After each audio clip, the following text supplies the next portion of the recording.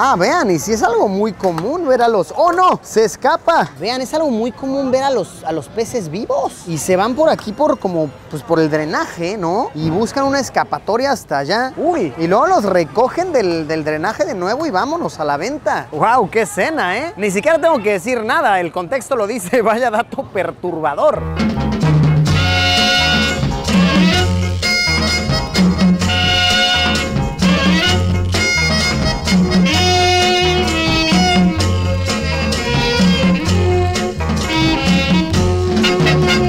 Amigas, Suo Sedei, ese es hola en camboyano. ¿Por qué estamos hablando en camboyano? Así es, porque nos encontramos en Camboya. Emocionadísimo, extasiado de poder estar haciendo esta travesía. De verdad, qué interesante, qué fascinante territorio. Oficialmente el reino de Camboya, este país asiático, tiene una población de aproximadamente 17 millones de personas. Su capital, donde nos encontramos ahorita, es la ciudad de Phnom Penh, que tiene unos 3 millones de población. Moneda oficial, el riel camboyano, aproximadamente 4 mil por un dólar. E idioma oficial, el camboyano. De hecho, tienen su propio alfabeto, el alfabeto camboyano, muy similar al alfabeto tailandés, pero tienen sus diferencias por las diferentes pronunciaciones en los lenguajes. Y de hecho, el alfabeto tailandés se deriva del camboyano. Vaya, el camboyano es mucho, mucho más antiguo. La religión principal es el budismo. Cerca del 95% de la población es budista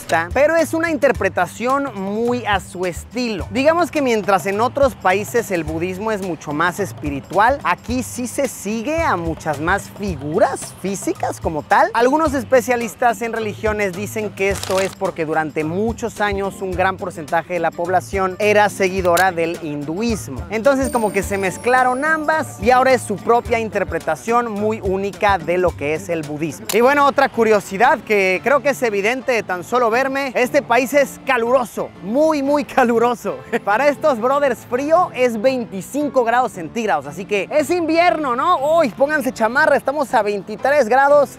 Ahorita estamos a sensación térmica de 38, yo me estoy derritiendo, llegan a más de 46 y es de verdad muy húmedo, sudando todo el tiempo. Este es calor intenso de verdad. Como datos curiosos de Camboya, el deporte más popular es el kickbox. ¿Qué tal? Súper inusual. Segundo lugar, el fútbol, claro que sí, como en muchísimas partes del mundo. Y tercer lugar en popularidad, el voleibol. ¿Quién lo diría? Eh? El voleibol, icónico deporte en un territorio. Y como les decía, Camboya es un reino. Esto significa que tiene un rey, aunque el rey no es la persona con más poder que puede tomar más decisiones. Este es el primer ministro. El rey es una posición, llamémosle, más simbólica. En este primer video por Camboya vamos a estar aprendiendo un poco sobre sus creencias religiosas. Vamos a estar visitando visitando algunos mercados callejeros que, wow, tienen mucho, muchísimo que ver. Estaremos viendo algunos templos, analizando algo de su arquitectura y conviviendo con los locales en actividades, vaya que divertidas. Ha estado muy, muy cool el viaje, sí. Pues bueno, no se diga más, suficiente introducción. Comencemos este primer aventurón. Acompáñenme que las bellezas camboyanas nos esperan. Normalmente diría vamos a darle, pero estamos en Camboya, así que diré to. Así se dice vamos a darle. To.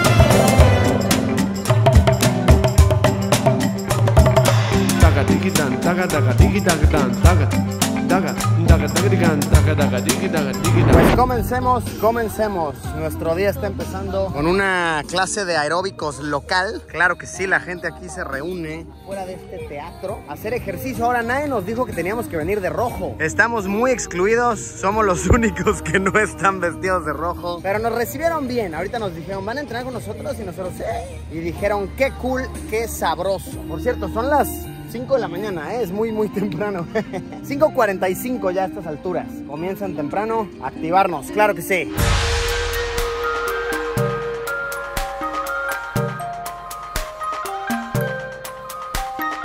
Culminó la clase y entiendo por qué la hacen tan temprano, ¿no? Con este solazo nos estamos derritiendo. Uf. Y bueno, después de la clase se arma todo el convivio y ahora sí a darle el día cansados, pero a la vez con toda la energía a seguir explorando. siguiente parada, siguiente parada, claro que nos vamos a mover en tuk-tuk. Claro que sí. Claro. Es un transporte bien eficiente aquí, la verdad, bien eficiente.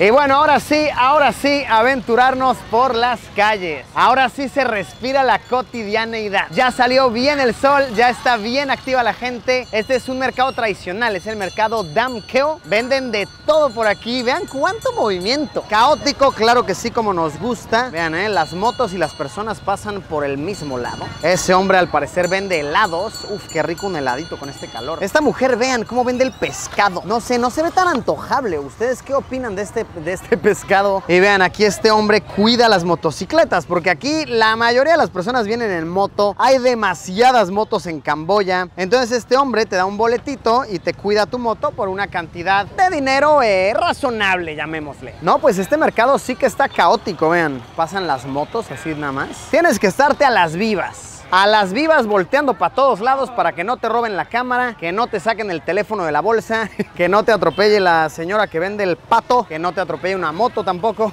No, si en este mercado tienes que estar, mira, viendo para todos, para todos lados. Y realmente en este tipo de sitios es que uno puede analizar cómo es realmente la sociedad, cómo es la cotidianidad de un país. Vean qué curioso, los calamares acá, el camarón, y esos peces siguen vivos. Todos esos, vean, ahí siguen vivos. Me imagino que serán del río local, el, el que atraviesa la ciudad. Ah, vean, y si es algo muy común ver a los... ¡Oh, no! Se escapa. Vean, es algo muy común ver a los, a los peces vivos. Y se van por aquí por como, pues por el drenaje, ¿no? Y buscan una escapatoria hasta allá. Estos al parecer lo intentaron, pero murieron a medio camino. Uy, y luego los recogen del, del drenaje de nuevo y vámonos a la venta. ¡Wow! ¡Qué escena, eh! Ni siquiera tengo que decir nada, el contexto lo dice, vaya dato perturbador. Y oigan, observación curiosa, aquí en Camboya la gente es como más pequeña de estatura. Hasta me siento alto y miren que, a ver, es bien sabido que no soy en lo absoluto alto. ¿eh?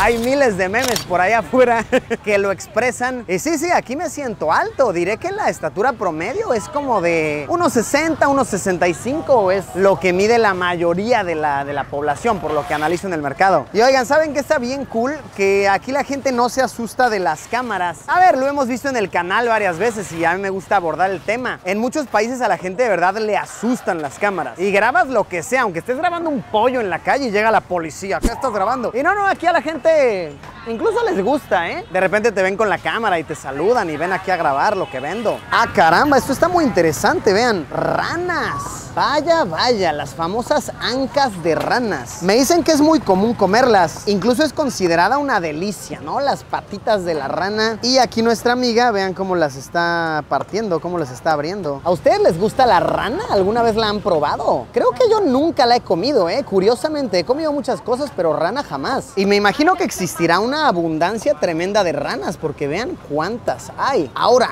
esto está bastante perturbador. Miren, ¡oh! esa sigue viva! No, no, no, pobrecita, qué espanto. Ush, no, no, no, eso está muy grave. Algunas siguen vivas ya sin piel. Oigan, no, eso no puedo decir que es agradable en lo absoluto. Tal vez hasta tengamos que censurar eso en la pantalla, porque si no, no es nada agradable de observar. Pues miren que ver a los peces y a las ranas aún eh, vivas es una escena algo extraña, ¿eh? No, no, no diré agradable. Pero siempre se le puede sacar un lado positivo y este es que más fresco imposible. Sí, sí, aquí no hay misterio. Ese pescado, vaya que está muy fresco. Esas ranas, vaya que estaban recién capturadas. Entonces supongo que hay un lado positivo y es que más fresco que en el supermercado ya congeladas. Sin duda, ¿eh? Aquí consigues lo más fresquito. Ah, qué locura, vean. Venden las anguilas y también los caracoles así. Más ranas, claro que sí. Ya vimos que la rana en efecto es muy común. Anguilas por ahí, las patas de pollo. Oigan, no, sí está bastante caótico esto.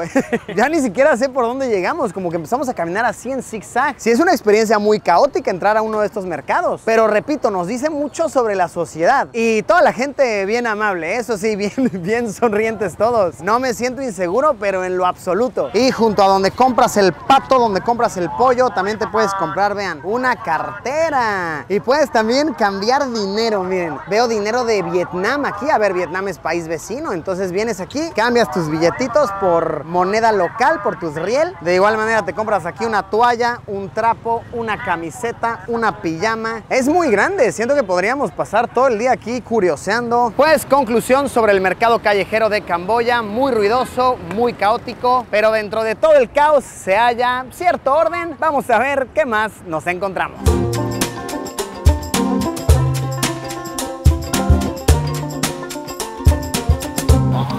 viendo este pájaro? Es enorme. Es un tremendo pajarón. Vean ese pájaro, es enorme, es majestuoso. ¡Uy! Ay. da un poco de miedo. Creo que quieres que le des comida o algo. ¿Querrá Oh, no. comida? ¡Oh, no! Oh, no. Oh, no. Es masivo y tiene como un par de bolitas en, en la garganta, ¿no? ¿Será que esa especie tiene los testículos en la garganta? Tal vez, ¿eh? Miren eso. ¡Ay, qué miedo de pájaro! Es enorme. es masivo. Claro, yo dándole este y le dan un panzote, no, pues sí, ¿verdad? Se tiene la creencia que esos pájaros son eh, pájaros suicidas. Si se les llega a morir su pareja, les duele tanto que vuelan, vuelan, vuelan muy arriba y eventualmente se dejan caer, cierran sus alas para psh, caer directo al suelo y terminar con su vida. Entonces, ¿lo amerita? Claro que lo hace. Esos pájaros exóticos de las calles de Camboya tienden a ser aves suicidas. Vaya dato bastante, bastante perturbador.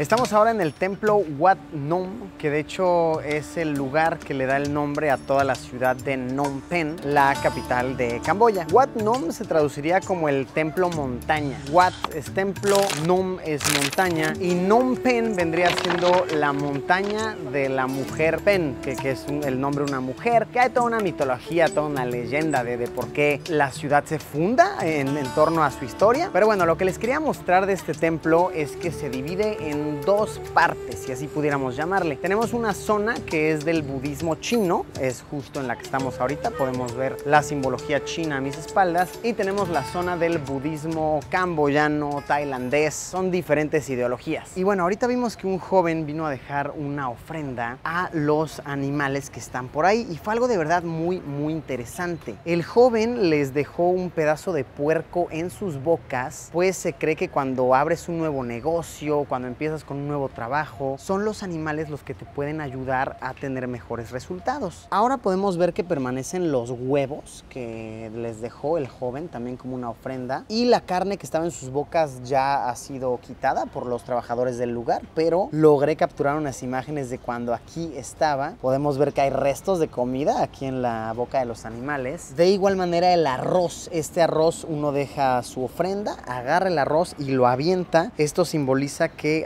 haces que la mala suerte se vaya, tu mala fortuna, adiós. De verdad que sí, me parece fascinante y en este templo, en el templo Wat Nom, se respira todo este misticismo. Estamos ahora dentro del templo de Wat Nom. Ella es la mujer Pen o bien Pun es la pronunciación correcta por lo que me dicen. Básicamente y muy resumido lo que cuenta la leyenda de la mujer Pun es que ella encontró un tronco que se quería llevar. En el tronco, en la madera, vio un hoyo y cuando vio adentro del hoyo pudo apreciar que habían cuatro estatuas en forma de Buda. Entonces, por supuesto, fue todo un fenómeno, fue un suceso muy significativo y por eso se decidió tomar esa leyenda para darle origen a toda esta ciudad, para ponerle eh, su nombre, ¿no? De la montaña de la mujer Pun. Y como es el deber de la comunidad hacer que la mujer Pun se vea hermosa, vienen a dejarle joyería. Vean cuánta joyería, todas las pulseras aquí. Vienen a dejarle flores, ofrendas en dinero. Vaya, alguien incluso le pintó los labios. Y también le dejan aquí, junto con la ofrenda de dinero, un peine y un perfume para que huela rico, para que se vea y se sienta muy hermosa. Podemos ver que hay diferentes figuras de Buda y que tienen eh, sus manos en diferentes posiciones. Vean cómo tiene sus manos aquí, vean cómo las tiene allá. Estas son representaciones de eh, diversos momentos de Buda. Esta, por ejemplo, es una de las más significativas. Se supone que con esta mano está señalando hacia abajo, hacia la diosa de la tierra. Ese de ahí podemos ver que tiene sus manos en forma de enseñanza y estaba enseñando algo Buda, ¿no? Mostrando a la comunidad. Y las personas de igual manera les dejan ofrendas, les dejan dinero, les dejan flores. Vean, ahí podemos ver que se dejaron varios billetes, de igual manera ahí arriba unos cuantos adornos, unas flores. Pues de esta manera las personas esperan que les vaya mejor, que tengan unos buenos resultados al dar esta ofrenda. Es relajante estar aquí, es, es bello, es una experiencia singular. Ah, vean qué artesanía aquí en el templo. Esta es la, llamémosle la corona de Buda. ¿ok? Pero es hecha con billetes. Este es el billete de 100 riel, ¿ok? Vean, ahí está el billete, ahí podemos ver que está Buda. Y lo doblan de tal manera que se haga una gran corona. ¿Qué tal? Qué artesanía, ¿no? Ay, en diferentes formas, diferentes posiciones. wow, qué creatividad, qué artesanía. Ahora podemos ver varias figuras de la señora Puan. Aquí tenemos otra representación. Podemos ver que está con unas luces a sus espaldas, pues esto representa, por lo que entiendo, la iluminación de Buda. Y de igual manera, vean, podemos observar que le traen collares, que le pintan la boca con labial, le traen su corona, le dejan ofrendas de dinero. Ahorita vimos que unas chicas le trajeron flores, le trajeron unas cuantas mandarinas, alguna que otra persona le trae unos guineos, unos bananos, todo para que siempre esté bella, que siempre tenga algo de sobra. Pues a ver, es como en todos lados, ¿no? A, a, los santos, a las figuras, se les ora, se les da ofrendas, porque se les pide, se espera de cierta manera algo a cambio al mostrar la fe, o simplemente se le agradece. Miren, una linda simbología, una linda representación, muy valioso poder apreciar algo así tan de cerca.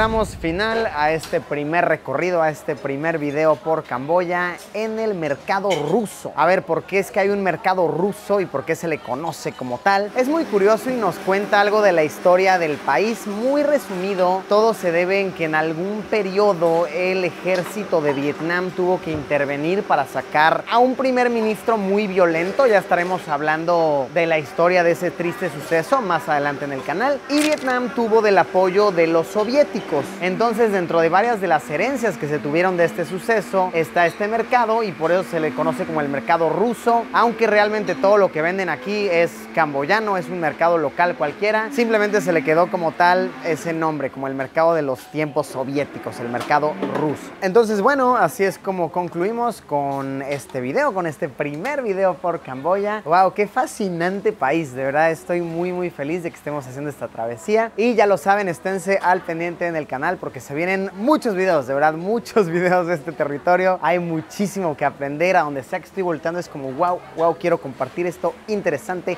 interesantísimo. Qué fascinante, peculiar y súper mágico territorio. Gracias por haberme acompañado. Como siempre, nos vemos en unos días con un video nuevo. Procederé a intentar despedirme en camboyano. Lia Howie.